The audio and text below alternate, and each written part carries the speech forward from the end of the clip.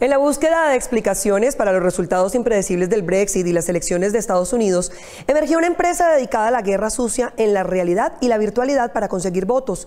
Esta dice tener operaciones en la actual contienda presidencial de Colombia, donde ya el resultado del plebiscito de la paz se compara con el europeo y norteamericano. Investigadores judiciales de la OIC, la Policía Informática de Inglaterra, examinan a esta hora las bases de datos de los computadores de Cambridge Analytica. Alexander Knox, noble inglés fundador de la empresa, fue grabado ofreciendo servicios electorales ilegales a un supuesto precandidato de Sri Lanka, que en realidad era un reportero del Canal 4 de Londres.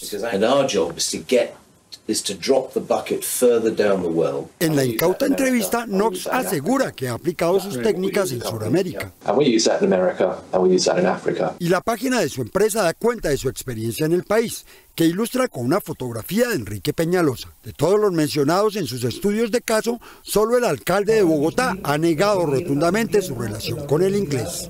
no good fighting an election campaign on the facts, because actually it's all about Estrategias idénticas a las que el coordinador del No declaró haber utilizado en la campaña de 2016. Absolutamente viralizada y que acudió más a la indignación que, que a una esperanza.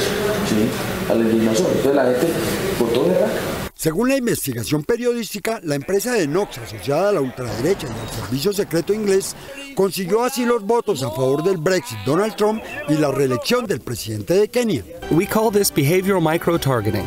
Our team of data scientists, psychologists, and campaign experts can show you which individual voters you need to win over in order to secure victory. El equipo de SEA trabaja la técnica del microperfilamiento psicológico, que un científico ruso desarrolló para establecer los mensajes que a cada ciberusuario le indignan y que estaría dispuesto a compartir.